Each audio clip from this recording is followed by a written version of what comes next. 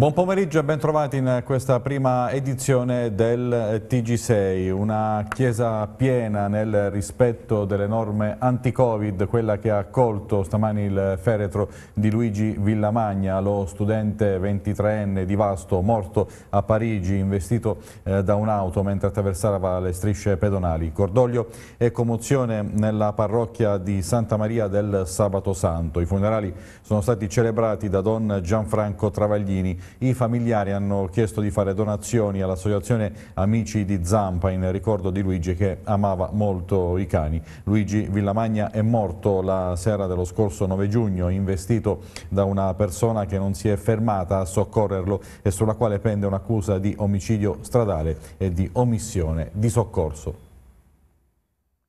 Cambiamo pagina, priorità per la città e grandi eventi, resta la freddezza tra i consiglieri comunali ehm, a Pescara di Lega e Fratelli d'Italia. Vediamo il eh, servizio di Paolo Renzetti. Restano freddi i rapporti all'interno della maggioranza del comune di Pescara fra i consiglieri di Lega e Fratelli d'Italia. Alla base dei contrasti le divergenze su quelle che sono ritenute le priorità per la città. E per la Lega oggi gli eventi non rappresentano una priorità, così come invece la manutenzione delle strade e i servizi al cittadino in un momento di crisi economica. Il processo di decisione sulle eh, poche risorse che avremo a disposizione, che abbiamo a disposizione, che saranno oggetto di una variazione di bilancio, saranno comunicate dopo che l'intera maggioranza ha deciso come impiegare queste risorse. Noi riteniamo che, queste, che buona parte di queste risorse debbano essere impiegate sul tema della manutenzione stradale, della segnaletica stradale, del decoro della città, eh, il che non vuol dire che non debbano essere impiegate anche per realizzare eventi, ma in questo momento riteniamo che la manutenzione della città sia prioritaria rispetto alle altre questioni, poiché, poiché la città di Pescara è comunque da qui a settembre piena eh, colma e stracolma di tanti eventi, quindi siamo, con, siamo, convinti che Pescara sarà attrattore e soprattutto attrattiva di tante persone per la mole di eventi pubblici e privati che ci sono in città. Il capogruppo leghista in comune a Pescara Vincenzo D'Incecco non entra nel merito del lavoro dell'assessore ai grandi eventi in quota Fratelli d'Italia Alfredo Cremonese dicendo che fra due anni a giudicare saranno i cittadini. Il lavoro di questa amministrazione è un ottimo lavoro che eh, su perché su tanti fronti ci stiamo impegnando a risolvere problematiche eh, annose, ma è altrettanto chiaro che in un momento come questo, eh, in cui usciamo da una crisi finanziaria che probabilmente abbiamo parzialmente risolto con i 12 milioni e 4 che, eh, della rata mutuo che riusciamo a, a, recuperare, grazie al nostro impegno importante a livello di, di, di, di governo, noi non possiamo non rilevare il fatto che ci sono delle priorità rispetto alla manutenzione della città. Io non giudico il lavoro di nessuno perché saranno i cittadini fra due anni a giudicare il lavoro di tutti tutti noi insieme. Su questo siamo tutti convinti e siamo tutti d'accordo. Il movimento politico verde e popolare che si ispira ai valori della democrazia cristiana ha tenuto oggi a Pescara la sua direzione nazionale presente l'onorevole Gianfranco Rotondi che in questi giorni sta presentando il suo ultimo libro intitolato La variante DC. Vediamo il servizio. Onorevole Rotondi, in questi giorni lei sta presentando il suo ultimo libro, La variante DC. Perché questo titolo? Beh, ammicca alle parole eh, tristemente di moda, ma in fondo coglie un aspetto della democrazia cristiana che esattamente come un virus entra negli organismi altrui perché eh, il libro sostiene la tesi per cui la DC non esiste più come organismo unitario, ma tutti i partiti sono diventati un po' democristiani. E invece, secondo me, la democrazia cristiana sarebbe ancora utile al Paese come partito, come idea portante, non come stile, come metodo, come linguaggio, che è pure una cosa buona ma insufficiente. Una democrazia cristiana che sarebbe utile soprattutto in questo momento dal suo osservatorio cosa vede per quanto riguarda l'Italia ma anche l'Abruzzo alla luce delle ultime amministrative? Servirebbe un grande partito nazionale cioè rappresentativo del sud e del nord, con un disegno di sviluppo dell'Italia, esattamente come quando il grande indimenticato Gaspari dettava le linee ricostruttive dell'economia abruzzese, che poi si sono tutte realizzate questo cosa significa?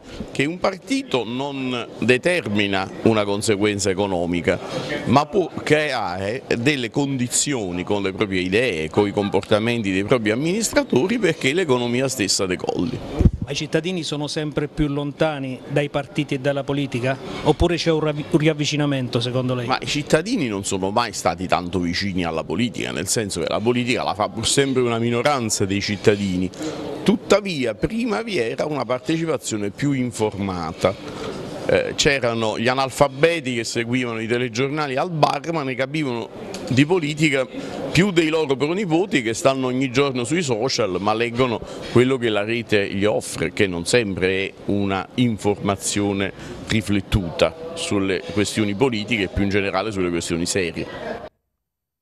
Presentato questa mattina al Parco della Scienza di Teramo la nuova edizione di Natura Indomita, 100 giorni di eventi che svariano dall'arte alla cultura all'enogastronomia. Il servizio di Stefano Recanati.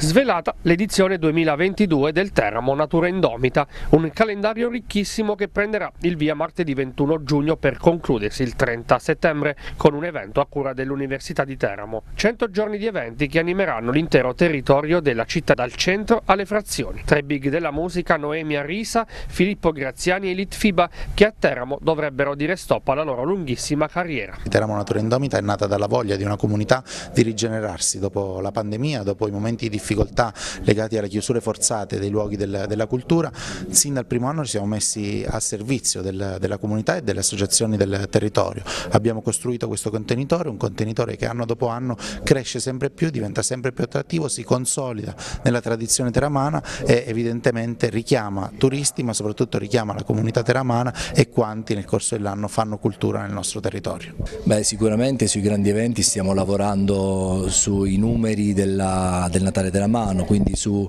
eh, piazze che vanno a 5.000 persone, a parte i concerti di Arisa che sono seduti e chiusi per 1.000, però ecco i Littifiba, Noemi sono tutti concerti che, che lavorano sulle 5.000 unità, ma poi sappiamo bene che perlomeno per l'esperienza passata che tante persone rimangono fuori quindi per la città saranno dei momenti di festa, è come chiudere un cerchio per noi, prima si parlava di un agosto dove Teramo era vuota, dove tutti andavano al mare, oggi vogliamo far vedere un'immagine della città di Teramo completamente diversa, piena di gente che si vuole divertire, quindi finalmente una vocazione estiva costruita e ottenuta. La grande novità è l'allargamento della Kermesse anche a paesi al capoluogo collegati. Protagonista in questa edizione il comune di Pietracamela che ospiterà il concerto di Roberto Vecchioni. Questo concerto di Roberto Vecchioni che si svolgerà l'8 di eh, luglio, venerdì sera, ai Prati di Tivo, credo intorno alle ore 18. Ed è una cosa molto bella, molto importante perché finalmente si può fare qualcosa che colleghi sia eh, il capoluogo e sia il paese di Pietracamela nella fattispecie. Al Parco Simon Bolivar di Notaresco arriva Abruzzo Sauro, un eh, parco tematico con oltre 10 specie di dinosauri differenti. Vediamo il servizio.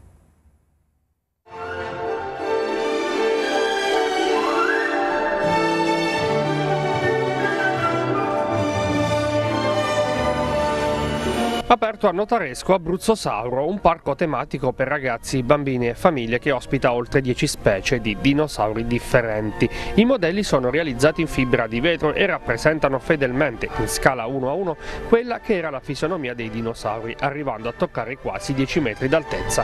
All'interno del parco ci sono sentieri che circondano i dinosauri, accompagnati da colonne sonore di sottofondo che rendono il clima ancora più affascinante. È un parco che mancava nell'intera regione, eh, saremo attrattivi su tutta la costa teramana, eh, anche oltre tutto Abruzzo, quindi siamo pronti ad ospitare i migliaia eh, di turisti che vengono sulla nostra costa e tutti gli abruzzesi che vogliono venirci a farci visita. E cosa si potrà vedere? Diamo delle informazioni quando è aperto il parco, fino a che ora? Il parco è aperto tutti i giorni dal lunedì alla domenica, dalle ore 10 alle 22 di sera e poi dopo ci sono dei totem all'interno del centro storico e tutti i visitatori potranno andare andare a fare scattare una foto e taggarsi sulla nostra pagina e ogni settimana chi riceverà più like eh, vincerà un premio, quindi una maglia, eh, così per far sì che l'intero borgo sarà visitato da tutti i turisti, centinaia di turisti che verranno eh, quotidianamente a farci visita. Ecco, sempre l'estate si parla sempre di sagre, di eventi per gli adulti e invece eh, l'estate la vivono soprattutto i bambini.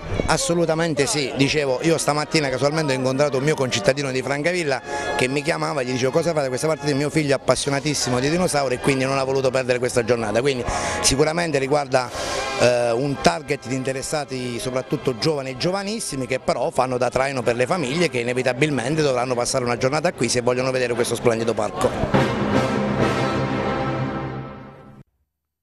L'amministrazione comunale di Avezzano si professa civica ma in realtà guarda al PD al centro-sinistra. La fond del consigliere comunale della Lega Genovesi alla luce delle recenti dichiarazioni del segretario regionale del Partito Democratico Fina. Vediamo. Non si è fatta attendere la replica del consigliere comunale della Lega Tiziano Genovesi alle dichiarazioni del segretario regionale del Partito Democratico Michele Fina che ha definito quella di Avezzano un'amministrazione civica con uno sguardo rivolto al centro-sinistra. La nota del numero uno abruzzese dei Dem, diffusa a margine delle elezioni amministrative, ha riacceso i riflettori su un possibile cambio di rotta del comune di Avezzano guidato dal sindaco attualmente sospeso Gianni Di Pangrazio, uno scenario che provocherebbe mal di pancia all'interno all'interno della stessa maggioranza, composta da più elementi vicini alle aree di centrodestra, una spaccatura in seno al governo cittadino che peraltro non sarebbe una novità. Già alle ultime elezioni provinciali alcuni consiglieri di maggioranza avevano sostenuto Angelo Caruso del centrodestra a discapito di Vincenzo Giovagnorio, sindaco di Tagliacozzo, la cui candidatura era stata avanzata da Di Pangrazio con il suo Abruzzo al centro. Il segretario regionale del PD ha chiaramente detto quello che diciamo noi ormai da oltre 24 quattro mesi che è un'amministrazione eh, di Avezzano, è un'amministrazione di centrosinistra eh, nascosta in un fantomatico civismo ma che di civismo ha ben poco, continuano a sbandierare questa eh, loro libertà, loro, questo civismo che però eh, oggi eh, le dichiarazioni di Fina che mi sembra essere il segretario regionale del PD eh, dice chiaramente che l'amministrazione del sindaco sospeso di Avezzano Gianni Di Pangrazio è vicina a passare con, con il PD. Il dato è oggettivo, abbiamo in Consiglio Comunale nelle file dell'opposizione una consigliera comunale del PD, vorremmo cercare di capire il PD che posizione ha, se vuole stare in ogni dove o se farà una scelta chiara ed evidente a sostenere come già ha fatto in passato perché al ballottaggio delle comunali di Avezzana ha sostenuto Gianni Di Pangrazio se questo matrimonio sarà ufficiale o se continueranno ancora a fare gli amanti. Si è concluso ieri sera a Silvi nel corso della Charter Night l'anno sociale 2021-2022 del Lions Club Atri Terre del Cerrano alla presenza del governatore multidistretto 108 Franco Saporetti e delle tante autorità a partire dal presidente della provincia di Teramo e dai sindaci di Silvi, Pineto e Montefino. Una serata celebrativa per il 36 anno dalla fondazione del club atriano per raccogliersi intorno alle numerose iniziative di solidarietà offerte a sostegno delle famiglie svantaggiate dell'Ucraina e delle forme di coinvolgimento dei giovani. L'anno sociale si è concluso con la consueta cerimonia del passaggio del martelletto tra il presidente uscente Antonino Orsatti e la nuova eh, incaricata eh, Patricia Giosuè. Vernissage questa mattina al Circolo Nautico di Pescara per la prima edizione di Cerrasuolo d'Abruzzo Cup che si svolgerà il 24, 25 e 26 giugno. Vediamo.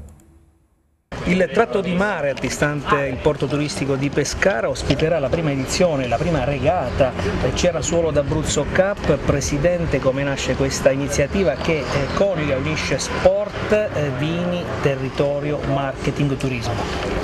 Beh, eh, nasce dalla volontà che da tempo eh, stiamo mettendo in campo di unire tutte quelle cose che ha appena detto, i nostri prodotti con il nostro eh, territorio, con eh, la nostra comunità che in questo caso eh, si esprime in un, um, in un circolo di appassionati eh, che eh, ci hanno proposto un'operazione di co-marketing territoriale che a nostro avviso è assolutamente idoneo a uh, valorizzare i nostri prodotti e eh, l'Abruzzo, per cui con grande, molto, molto eh, contenti di eh, partecipare e abbiamo anche concesso il nome, eh, c'era solo l'Abruzzo Cup, ci sembra veramente idoneo a eh, valorizzare i nostri prodotti e l'Abruzzo. Il ruolo del circonaro è quello di organizzare queste regate a livello italiano e già quest'anno vi dimostreremo che le barche non sono soltanto quelle di Pescara ma vengono da, dal, dalle Marche, da Ottona, eh, a Termoli arriveranno qua. L'idea è nata da un incontro tra noi e il consorzio dei vini d'Abruzzo. Cioè, abbiamo, abbiamo iniziato le trattative l'estate scorsa, finalmente siamo arrivati alla conclusione e poi la prossima settimana 24, 25, 23, 24, 25 vedrete che cosa riusciremo.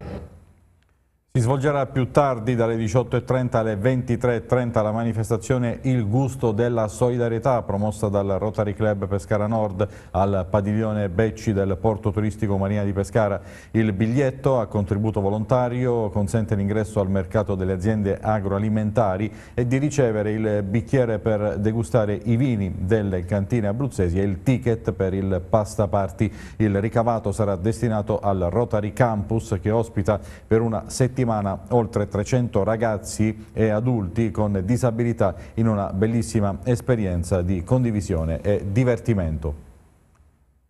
Ed ora lo sport calcio, la prossima settimana sarà ufficializzato Alberto Colombo come neo allenatore del Pescara, un tecnico lontano dai dogmi e che si sa adattare all'organico. In riva all'Adriatico cerca anche la svolta per la propria carriera, vediamo il servizio.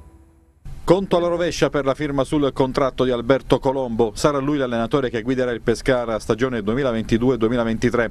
Un fatto certamente positivo è che Colombo, uomo del nord, originario della provincia di Lecco e dal temperamento mite, intraprenderà questa sua importantissima esperienza professionale senza dinamiche o ruggini pregresse che avrebbero caratterizzato un nuovo avvento di Zeman.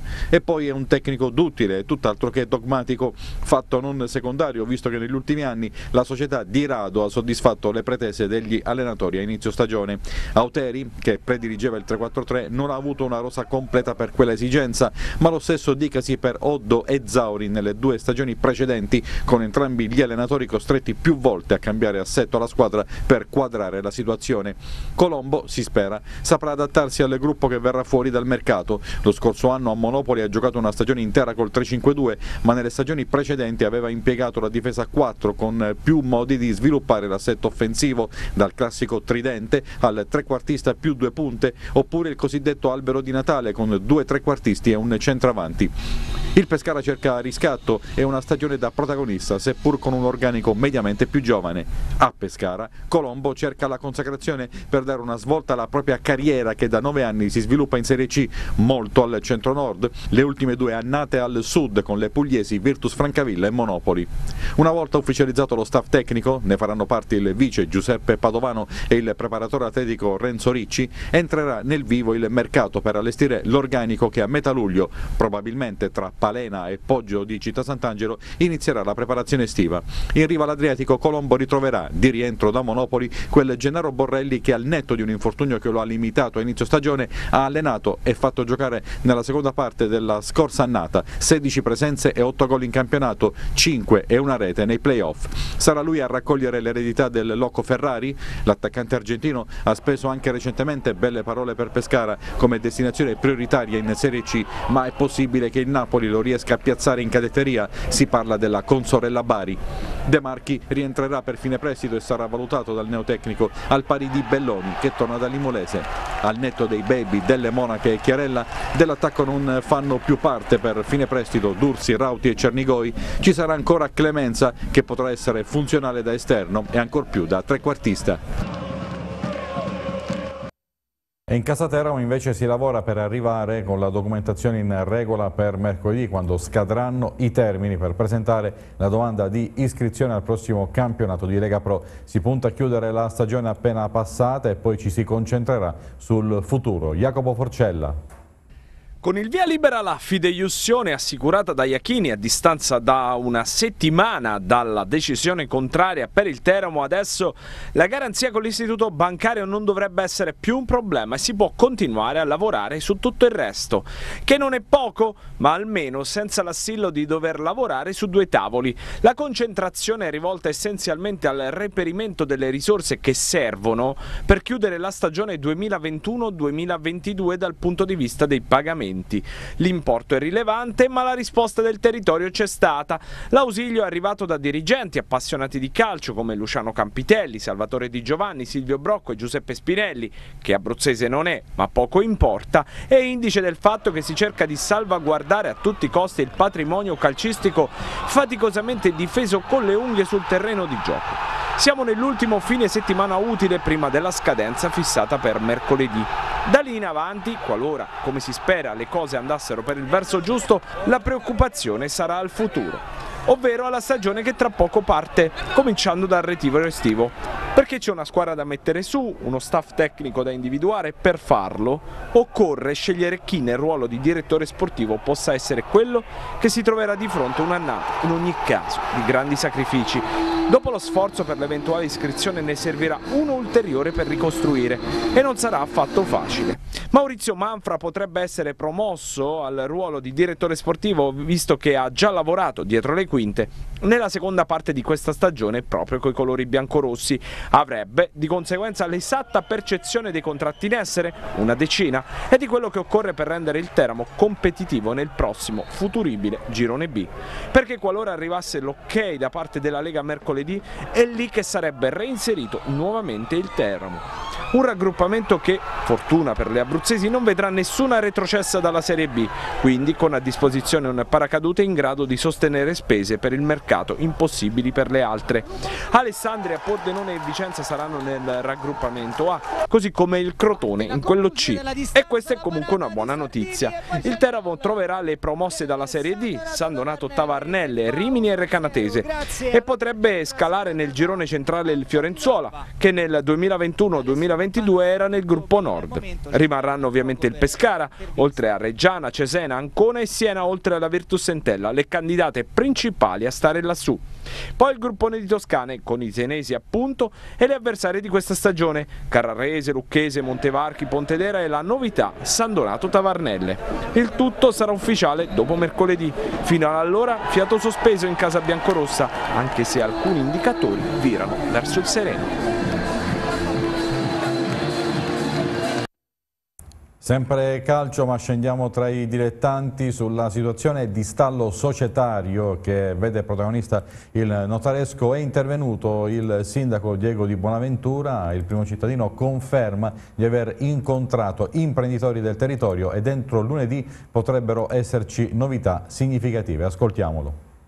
Sindaco, negli ultimi giorni si è parlato tanto eh, di calcio a Notaresco, prima le uscite sui giornali, poi la conferma tramite un comunicato stampa, Salvatore Di Giovanni fa un passo indietro adesso la situazione a Notaresco com'è? Notaresco è che dobbiamo rifondare una società, era una scelta che era condivisa, già si sapeva da un po', da un po di tempo, abbiamo fatto quattro anni splendidi a Notaresco, sicuramente tre meglio, l'ultimo anno ci ha, ci ha, creato un po' ecco, di conflitti interni, no? perché quando poi non arrivano i risultati l'attesa era tanta 40, no? abbiamo vissuto anche periodi difficili col Covid, abbiamo anche sognato un salto di categoria ed era quasi possibile, però doveva andare così non ci siamo riusciti e adesso è quello che sappiamo, c'è tanto chiacchiericcio, io l'ho detto pubblicamente, ringrazio il Presidente per quello che abbiamo fatto insieme a lui a Notaresco perché sono stati anni belli, adesso dobbiamo aspettare alcune decisioni e che noi dobbiamo capire quale eh, campionato riusciamo a gestire e a fare perché perdendo il Presidente e anche il Vice che che giustamente eh, andranno in altri, in altri lidi, è normale che il budget inizia ad avere delle difficoltà, però dobbiamo fare quello che possiamo fare, che dobbiamo essere credibili, come sono stati in questi quattro anni, perciò ringrazio il Presidente perché abbiamo sempre onorato gli impegni con eh, tecnici, staff e tutto quello che era, perciò che dobbiamo fare il campionato che Notaresco può gestire con la società, perciò noi stiamo cercando di formare una società nuova, aspettiamo un po' ecco, le decisioni più che le chiacchiere che si stanno ecco, adesso messe in giro perché sapete che qui c'è Giulianova, c'è il Teramo, c'è il Notaresco, altre società che si stanno muovendo per capire quello che si può fare, ma sono convinto che tra lunedì e martedì ecco, sapremo di che morte morire. Ha incontrato già qualcuno? Sì, vabbè, io ho rapporti belli con il Presidente, siamo visti, ho sentito anche altri, altre società, perché da Notaresco ecco, si muoveranno anche le decisioni di altre società, è normale che c'è attesa per il Teramo Calcio, dopo anche c'è stata un'uscita di sede del Presidente che ha detto il contrario di quello che aveva detto l'altro giorno per amor della città. E perciò io sono convinto che lunedì, martedì il puzzle si inizia a completare, insomma, okay? io cercherò di difendere la nostra comunità perché Notaresco ha fatto calcio per tanti anni, è una storia del calcio, abbiamo fatto quattro anni bellissimi di Serie D e vogliamo continuare a scrivere una storia importante. Proviamo a fare una percentuale su cambiato di Serie D eccellenza, qual è la percentuale più alta e quale più bassa? Attualmente la più alta è l'eccellenza, se non troviamo nuovi soci è normale che è più semplice fare l'eccellenza che la Serie D. Io vi ricordo che a breve tutti i servizi che avete visto saranno disponibili on demand sulla nostra piattaforma YouTube oppure sul nostro rinnovato sito www.tv6.it. Prossimi appuntamenti con la nostra informazione, i TG delle ore 19 e delle ore 23. Grazie per l'attenzione e buon proseguimento con i programmi di TV6.